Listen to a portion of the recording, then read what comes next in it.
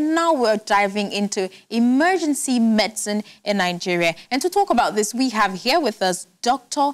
Kevin Adeleke, an emergency medicine physician who is certified by the American Board of Emergency Medicine Physicians and currently practicing in New York and Georgia. Welcome to the show, Dr. Thank Kevin. you. I appreciate Welcome to the show. Thank you very much for, for being here with us on the show.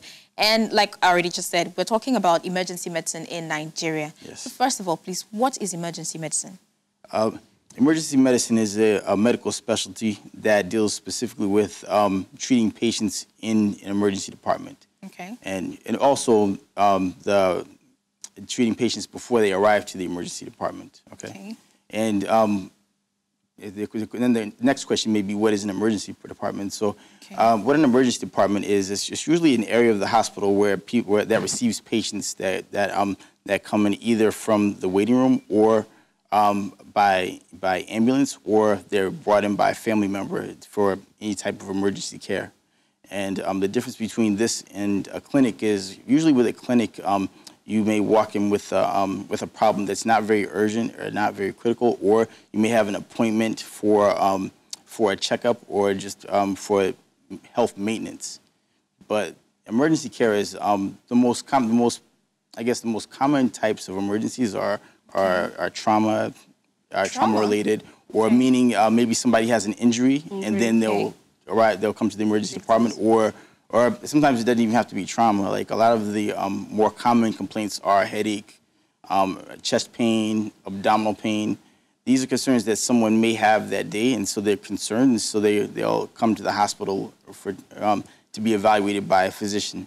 But does that really qualify as an emergency, situation? I mean, it can because um, if you had a he- have a headache, it can be a migraine, or it can be um, a brain abscess, which is an infection in the brain that may require drainage, or it can be um, some sort of abnormal bleeding, or if they have um, chest pain, they can have um, it can be muscular pain, or it can be a heart attack. Okay. Um, if they have trouble breathing, maybe it can be um, an asthma exacerbation, or maybe they can have a situation where um, they have heart failure, where their um, maybe their heart's not pumping efficiently enough, and so fluid may back up into the lungs, which can prevent breathing. So I mean, those things can be emergencies. You know? okay. Okay, so what emergency measures should be put in place for uh, for accident accident victims Here in, in Nigeria. in Nigeria? Okay. There already is um, an, an emergency, an EMS system, which is an emergency medical service system. There are already there are already multiple systems in place, and there's actually been um, been a significant amount of funding um, allocated to the development of this system. But I, and so I think um, and so if your question is what should be done, I think that I think that the the system just needs to be developed more. Like maybe there um like there there, there needs to be more more more people trained and uh, more EMS providers trained. I'm including um, paramedics, which would be and paramedics, ambulance drivers. There need to be more ambulances, and so I think if they had uh, more of these things, then um, it would significantly decrease morbidity and mortality in Nigeria. And Nigeria. what that means is maybe is that there'd be a decrease in the amount of disease and a decrease in the amount of deaths Death rate. Okay. specifically with um, uh, trauma-related deaths. Okay. For example, um, motor vehicle accidents, motorcycle accidents, um, pedestrians who are struck by automobiles, and things like that. There, um, if if the if the EMS system were improved, then those people can be transported. And they can be stabilized, assessed, stabilized, and then transported to a, um, to the, the closest hospital capable of taking care of them, and then potentially many lives can be saved. Is it is it necessary for an emergency care provider to have a history, a medical history of a person who has been rushed into emergency? I think it was it's highly recommended. Okay. and this is what I mean. So, um, it, a lot of people have smartphones, and even if you don't have a smartphone, you can easily have a card with your medical history that you just carry in your pocket, in your wallet, or whatever. You know. How about word of mouth? Well, actually, you should know your history. So you should know your. So you should have it written down. But you should absolutely. I agree. You should know Okay. it. Um, that way, when you're evaluated by the practitioner, you can um, you can tell them what your medical history is, uh, your surgical history, any medication allergies, your list of medications and doses. You should be you should you should be able to, uh, give them all that. these things exactly. Okay. A lot of people don't, but I think that um, I mean I, I agree that I think that people should take more responsibility and they should know these things because then it'll make it'll actually streamline their care and it'll make their care it'll, the health care that they receive will be be much better. Better. Yeah. Okay, so who administers um, emergency medicine at that point of emergency? You know, say for instance, someone slumps and they're bystanders and there's no doctor or nurse per se. People have the concern that I'm not the one who should be administering that. Or if you go into a hospital, you know, there's, there's a question of, you know, sometimes some nurses may tell you, oh, I'm not meant to, you have to wait. So who should administer emergency medicine? in the street. So let's say someone's outside mm-hmm. and something happens. I think that there, there's no policy there because you're not in a hospital and because you're not in um, because you're not in a, in a in a building or a hospital or in a healthcare setting. There's no policy, and so I think that it, it depends. Okay. And what I mean is, if you have a um, if you have a patient and let's say that they have uh, let's say they have an allergic reaction or something, and, and um, some so um, in the states I know they have um, something called an EpiPen, an epinephrine pen, and so if, if a family member knows that a person needs a certain medication because of some pre-existing medical condition that they have, then by all means they should give it. Okay. You see? Because well, who else is going to do it? And if that's going to help them, they should receive it. In a hospital, it's completely different because most um, medication administration in hospitals is usually protocol driven.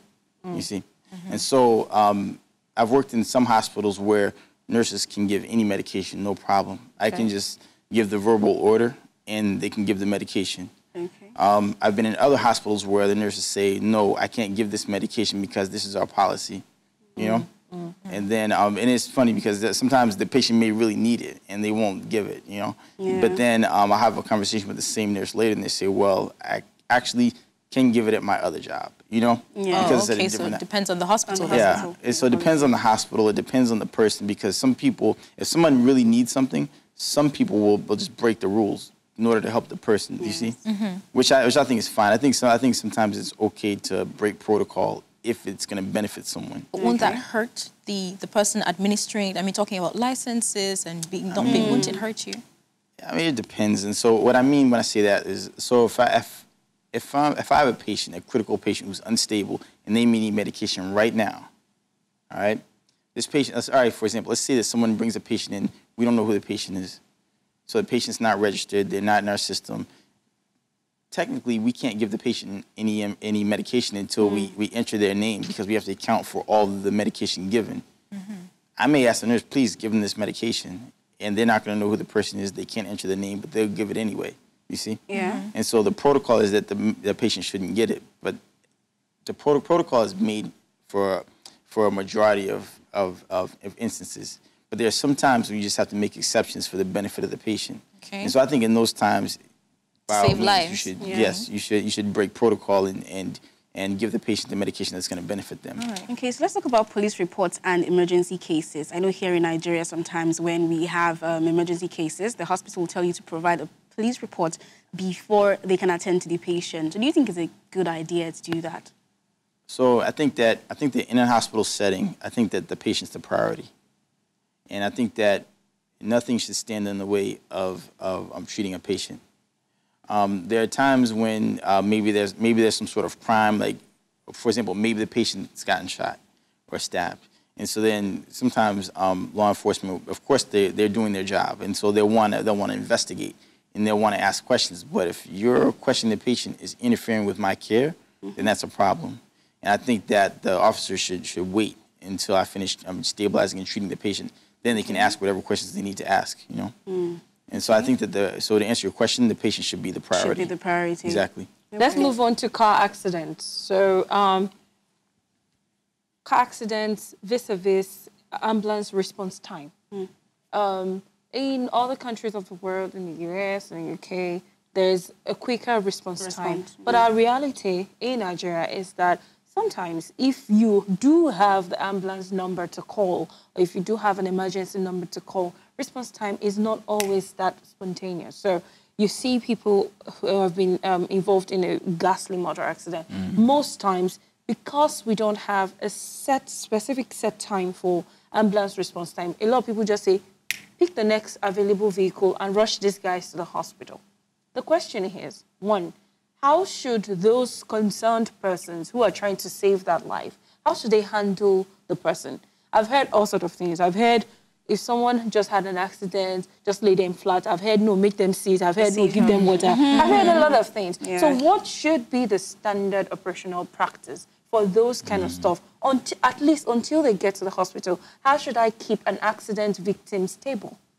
Ideally, I think that if, um, if in a, specifically for motor vehicle accidents, I think that um, I think if there's a person who's injured, they shouldn't you shouldn't give them anything to drink or eat, and you shouldn't move them unless the vehicle may explode. Okay.